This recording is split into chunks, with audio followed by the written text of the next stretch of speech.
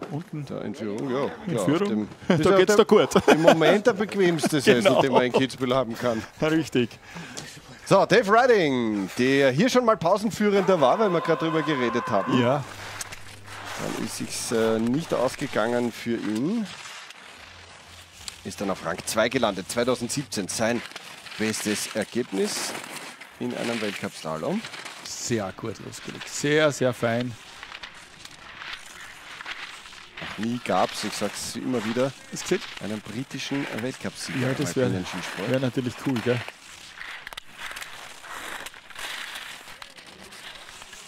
Aus mehreren Beweggründen. Aber einer davon natürlich auch der Tourismus, der Skisport an sich.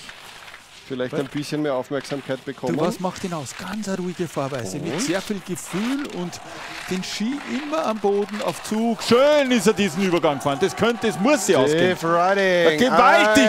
1,41,26. Das ist die drittschnellste Genau. Zeit im zweiten Lauf und er ist wieder da. War nicht ganz fit die letzten Tage, ein bisschen kränklich. Vielleicht, vielleicht kann man die letzten Werte die Haarnadel einspielen vor dem letzten Übergang. Die muss man genauso fahren, wie er gefahren ist. Die hat er sauber erwischt und dann nimmst du das Tempo ins Ziel mit.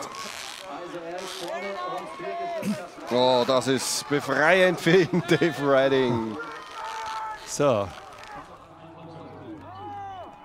Wie ruhig die Ski laufen. Gewaltig. Da kommt er rein.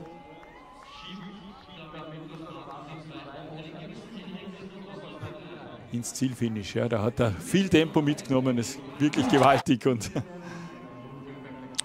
Anerkennendes Applaudieren der beiden Norweger, die hier die Führung abgeben müssen. Dave Riding setzt sich an die Spitze mit einer tollen Fahrt. 1,41,26 ist die Marke und fünf Läufer stehen nach oben. Rocha, Razzoli, Solivauk, Noel und Finazza.